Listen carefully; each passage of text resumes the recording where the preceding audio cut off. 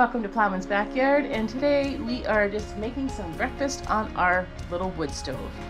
We lost power last night. We had some really strong winds. Um, I don't know how fast, maybe like 80 kilometers an hour or more. But um, we lost our power. We're not off grid, but we are thankful we have a wood stove. Jason's got the generator going. Not a whole lot of room up here, but there is enough room for a few cast iron frying pans. I'm just trying to get that heat up so it'll cook. We are just gonna cook us up a nice breakfast.